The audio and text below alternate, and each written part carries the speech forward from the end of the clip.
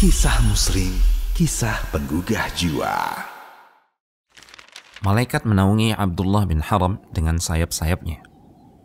Jabir radhiyallahu taala berkata, "Ketika ayahku terbunuh dalam perang Uhud, aku membuka wajah ayahku lalu aku menangis.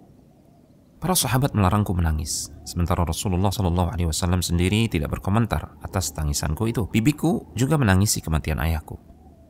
Pada saat itu, Nabi Shallallahu alaihi wasallam bersabda yang artinya, "Engkau tangisi dia atau tidak, malaikat tetap akan menaungi dengan sayap-sayapnya hingga kalian mengangkatnya."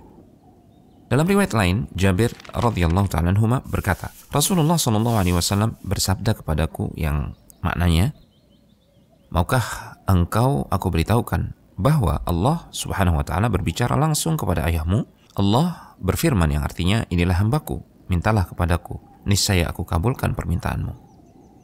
Jasad itu menjawab, aku ingin sekiranya engkau mengembalikan aku ke dunia, menghidupkan aku lagi, sehingga aku mempunyai kesempatan untuk ikut berperang lagi dan terbunuh untuk kedua kalinya.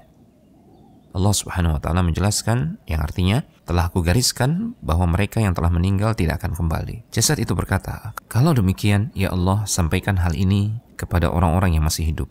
Lalu Allah Subhanahu wa taala menurunkan ayat, ولا تحسبن الذين قتلوا في سبيل الله أمواتا بل أحياء عند ربهم يرزقون Janganlah engkau menyangka bahwa orang-orang yang gugur di jalan Allah itu mereka mati. Bahkan mereka itu hidup di sisi Rabb mereka dan mereka mendapatkan rizki. Hadis ini diriwayatkan oleh Imam Al-Bukhari dan Imam Ahmad.